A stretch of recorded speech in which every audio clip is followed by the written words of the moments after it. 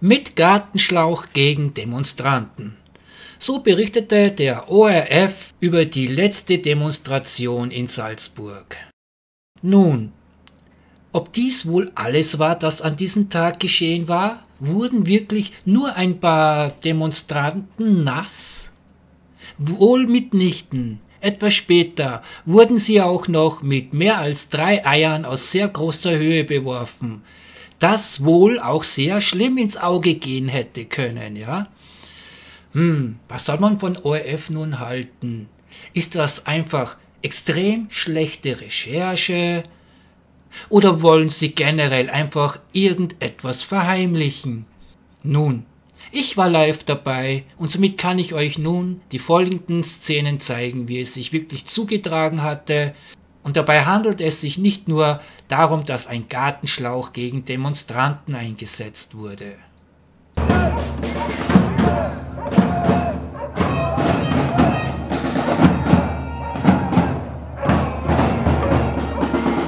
Hier könnt ihr sehen, wie diese Frau aus ihrem Garten heraus uns alle provokant mit ihrem Gartenschlauch abspritzt.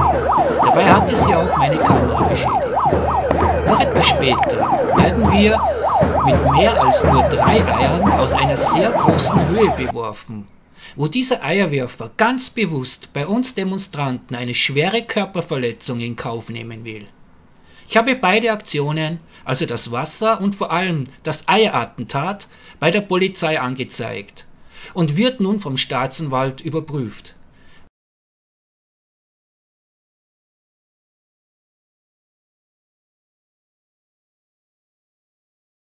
Hier erkennt man an meinem Kamerabild, dass nun am Rand alles verschwommen ist, dass sich mein Objektiv sehr schwer tut, den optimalen Fokus zu finden. Später, wenn mein Objektiv trocken ist, werden sich Kalkflecken bilden und so meine Kamera in ihrer HD-Fähigkeit herabgesetzt sein. Aber wie schon erwähnt, habe ich dieses Verhalten nicht nur als aggressives Verhalten, sondern auch als eine Sachbeschädigung zur Anzeige gebracht. Es wird Zeit, dass die Personalien aufnehmen. So schaut es erst einmal ja. aus. Das werde ja, wir das jetzt auf unsere Art und Weise. Ja, aber fix bald einmal. Lang warten wir nicht mehr. Dann haben wir die nächste Polizei.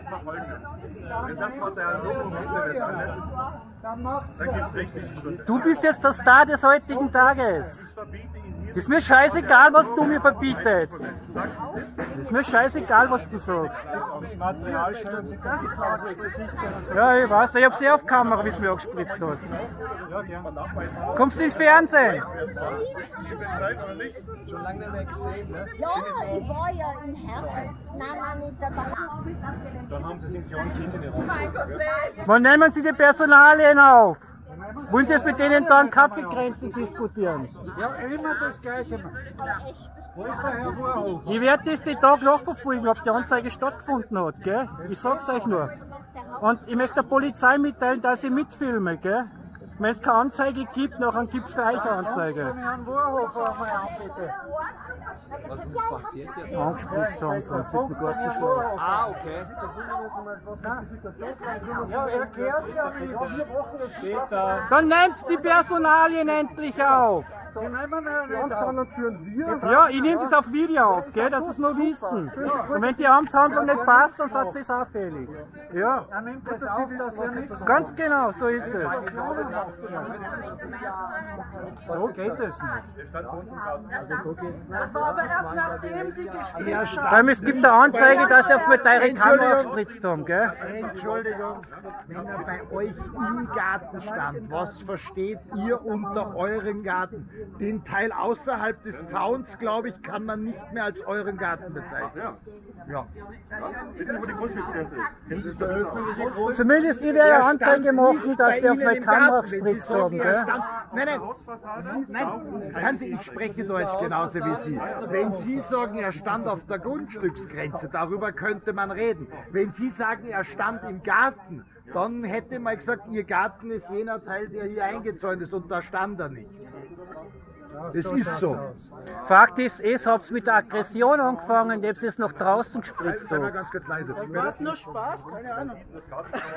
Ja, der Spaß jetzt ja, wenn man auf meine Kamera spritzt. Da gibt's auch schon mal Anzeige. Nicht wissen, ist mir persönlich voll wurscht. Nur wenn Sie Leuten, die ihr äh, Demonstrationsrecht wahrnehmen, im Sinne von einer Versammlungsfreiheit und einer Meinungsfreiheit, einen Angriff mit einem Gartenschlag, so wie er da Hände unterzieht. Entschuldigen, Sie haben auf meine Kamera gespritzt, die kostet ein bisschen was, gell? Nein, nein, die zweite Kamera. Zufällig habe ich zwei in der Hand Sie gehabt. geben zu, dass Sie quasi da gerade eben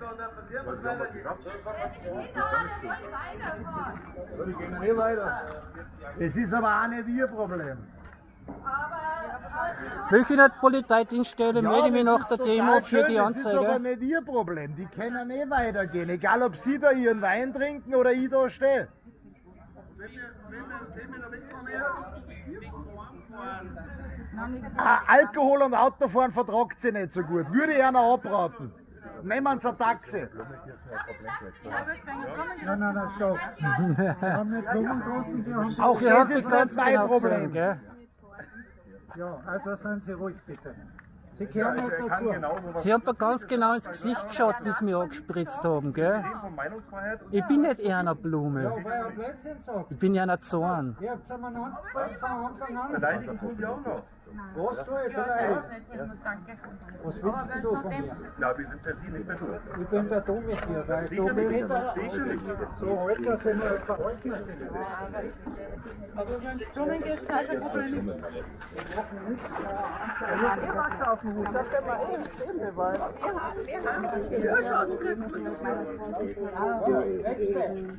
Meine Personalien, ich werde dich eine Anzeige machen, dass sie mich auf meine Kamera angegriffen hat mit dem Gartenschlag.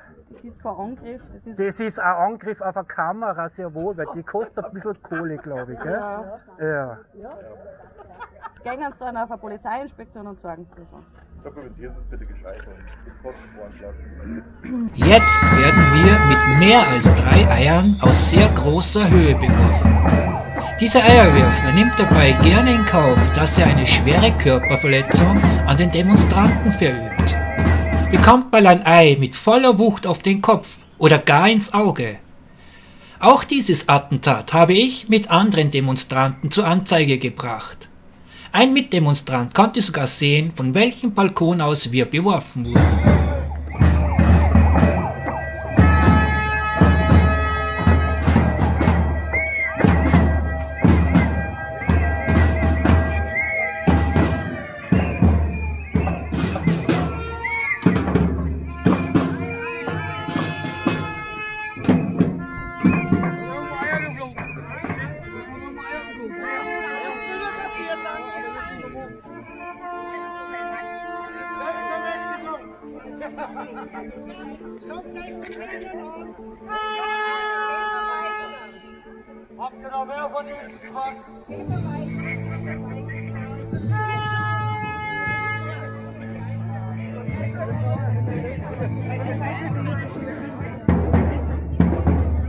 Zuerst Postanschlag, dann wieder ein Eieranschlag. Ich hab's gern.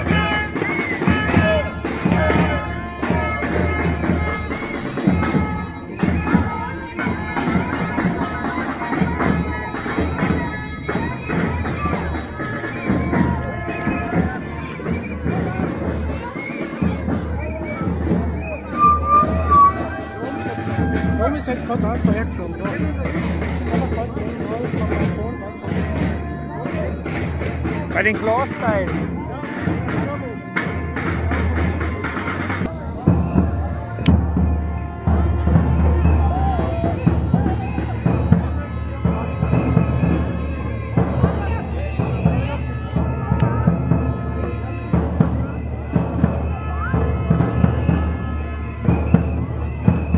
Diese drei Polizisten wurden beauftragt, diesen Tatort oben am Balkon zu eruieren.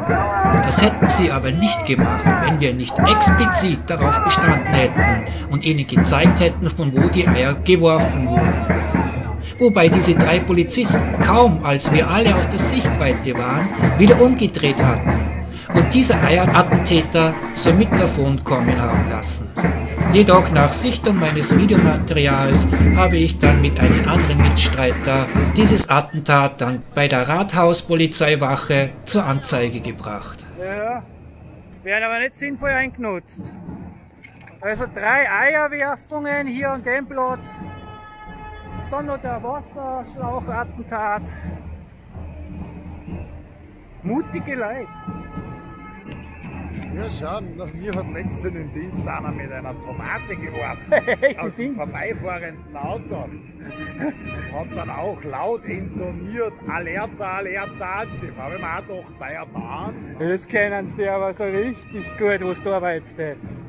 Ja, das Depperte ist, dass auf so einem Auto halt ein Kennzeichen drauf ist. Und ich gehe davon aus, dass dieser schwarze Golf, frag mich nicht welches Modell, weil ich vorher kein Golf, jedenfalls dieses Salzburg-Landmodell, dessen Nummer ich mir notiert habe, irgendwann vielleicht einmal wieder meinen Weg kreuzt. Aber nachdem ich es ja schön finde, wenn heutzutage quasi irgendwer mit Lebensmitteln um sich schmeißt in einer Zeit, wo das Leben immer teurer wird, alles gut. Du, du, die was da oben wohnen, können sich ja noch einiges leisten, sonst taten sie da nicht hausen dort.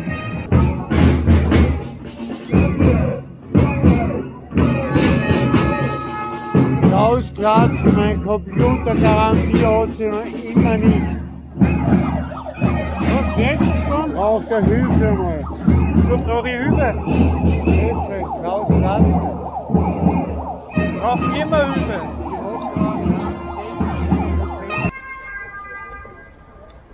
Hallo, jetzt habe ich einen kleinen Zwischenbericht. Ich war jetzt wieder bei der Polizeidirektion, ah, bei der Rothausstation der Polizei und habe jetzt eine zweite Anzeige aufgegeben. Am Sonntag, da habe ich schon die Anzeige fertig gemacht auf der Rathauspolizei mit dieser Wasserschlauchfrau. Aber es gab ja, wie ihr es gesehen habt, noch dieses äh, Eierwurfattentat. Und das habe ich heute, ah, da liegt Geld auf der Straße, 50 Cent, auch nicht schlecht. Ja, ähm, zumindest beim Besichtigen meines Videomaterials habe ich dann gesehen, dass ich den Typen, der die Eier geworfen hat, vom obersten Balkon aus, Foto blende ich eh gerade ein, da seht dass er dann sich versteckt hat aus einer Ecke und mit dem Handy runtergefilmt hat, um sein Werk zu begutachten. Ja. Als er dann bemerkt hat, dass ich ihn jetzt auch auf der Linse habe, hat er dann das Handy gleich wieder zurückgezogen, was dann da jetzt seht. Ja, wie gesagt, drei Eier habe ich mitgekriegt, die er geworfen hat. Aus dieser Höhe, müsst ihr euch einmal vorstellen, ist das schon, dass er billig, billig mal in Kauf nimmt, dass er eine schwere Körperverletzung da geschehen kann. So ein Ei ins Auge zu kriegen, ist schon mal sehr schlimm. Selbst nur auf den Kopf kann sehr böse ausgehen, auch wenn es ein ungekochtes Ei ist. Ähm, ich habe eben jetzt Videomaterial von den Wasserattentat, ich nenne es ja so, und von den Eierattentat der Polizei abgegeben. Ich habe einen Zeugen auch mitgenommen gehabt von den Eierattentat und beide wollten wir jetzt da unseren ja, Verlauf, unsere Erfahrung von den Tag per Niederschrift abgeben. Hat er aber nicht gemacht. Er hat mein Videomaterial entgegengenommen und gesagt, er schickt es einmal der Staatsanwaltschaft. Und er, wir werden dann Bescheid kriegen, wie die entscheiden, ob man das nachverfolgen muss. Ja, man hätte schon gerne ein Protokoll abgeben jetzt. Aber naja, spiele mal einfach so eine Zeit mit. Wenn in zwei, drei Wochen nichts her, werde ich nachdrücklich nochmal ein Protokoll verlangen, weil so geht es irgendwie auch nicht. Wie gesagt, bei den Wasserschlauch-Attentat konnten wir sofort ein Protokoll abgeben. Ich meine, die Staatsanwaltschaft tut es ja doch ein bisschen leichter eigentlich, wenn sie ob so einen Sachverlauf von uns Zeugen hört. Da tut sie sich eher qualifizierter eine Meinung bilden, ob er den Sachverhalt jetzt nachverfolgt oder nicht. Aber ja, Absurdistan ist ja nur ein schöner Wohnort, würde ich sagen. Die Bürger aus Schilder sind auch intelligenter.